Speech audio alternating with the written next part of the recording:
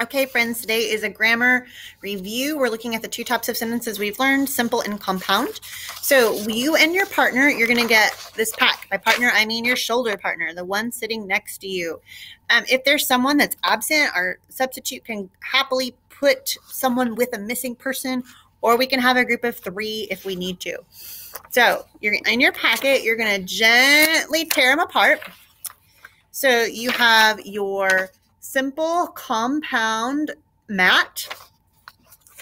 In your group, you're going to read each sentence and you're going to determine is it a simple sentence or is it a compound sentence? Now, I want you to remember that just because a sentence has the word and in it, that doesn't mean that it is always a compound sentence. We can have and in a word eh, and in a sentence and it be small, like Mrs. Pierce has a cat and a dog. Well, Mrs. Pierce has a cat is a full sentence, but and a dog is not. So, for it to be a compound sentence, we have to have a sentence and a different sentence that we are joining together with a comma and then one of our conjunctions, one of our fanboys. So just remember, just because you see and, that doesn't automatically mean automatically mean that it's a compound sentence. So you're to cut each sentence apart, read it, and then glue it into the part of the mat that it matches, either compound, sorry, compound or simple. Then after you and your partner finish that, while you're waiting on people, not everyone will get to this. I just want to make sure we have enough work.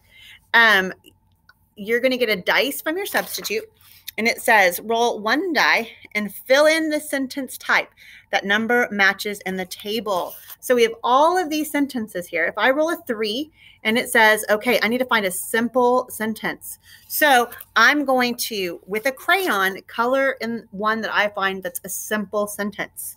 And then my partner is going to roll. Then they're going to, let's say they end on simple sentence too. They're going to find a different simple sentence and color in with a different color. At the end of the game, the person with the most colors on the board wins. If you're rolling and there's not another one of your kind of sentences, or you pick the wrong one, you lose that turn. So make sure you're paying attention to what your partner does. Don't let them get away with putting the wrong sentence down.